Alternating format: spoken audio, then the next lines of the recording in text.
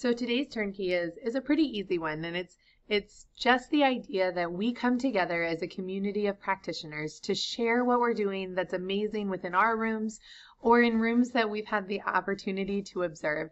And in doing so, we take a minute to acknowledge the things that we're doing and that the things that we're proud of and to share them with each other in hopes that we can learn from each other and grow from each other and just enrich the, the students that we're working with by giving them uh, projects and ideas and lessons that are engaging. So the goal for today is that you leave with an idea that you can use moving forward in your room or a long-term goal of something that maybe doesn't fit with what you're doing right now this quarter, but maybe will in the future, or maybe even moving into next year. And that you acknowledge something that you are proud of. So we're also building confidence in our own abilities to share with each other what it is that we are doing as educators. So I'm going to give you two examples of things that you can share um, that are occurring in our district and then open it up for you guys to share with each other what amazing things you are doing as a staff in your building. So this is a student interest and initiated project.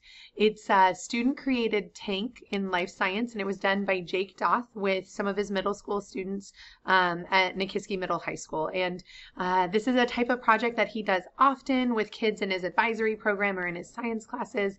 And they'll they'll come in and out at different times during the day to really finish the project, but they build the whole background and they plant live uh, they plant live plants within the tank and then set up a system in here. And you can kind of see him, but right back in the back, there's a frog in this tank.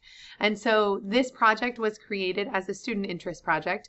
And then it ended up finding its way into a fourth grade classroom. And that fourth grade classroom is now using it um, as a cross content piece within their room and they are writing letters and doing research in the hopes of being able to uh, to get multiple fire belly toads with the hopes of being able to create a successful breeding program for toads, looking at the life cycle of those uh, of those animals from egg through tadpole into frogs, and then be able to create a partnership with the local pet store that then takes on the babies that they raise in their room and uh, and sells them to the pet store in exchange for the supplies to run their tank.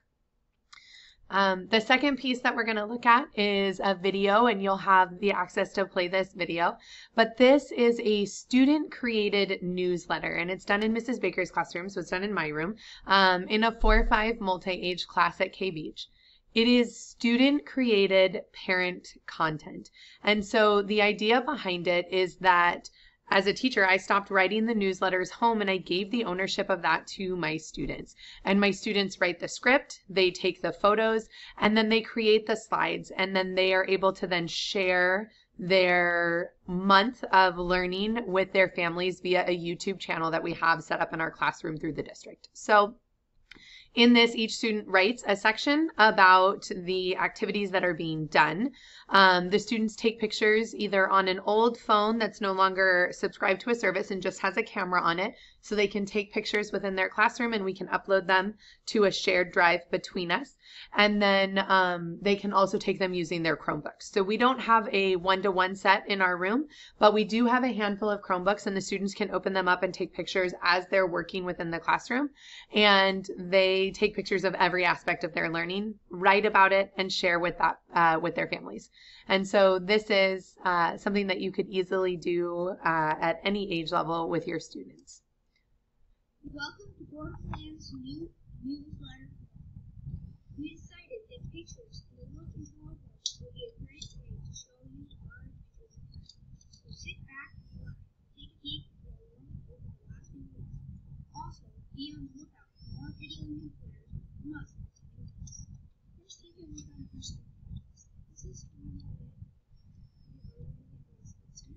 So the video does get pretty quiet and it is a little bit longer. Having every student participate and having that equity component, um, they have a checklist to make sure each student is pictured. And then those that want to share about one section, they have to write up each little bit about it.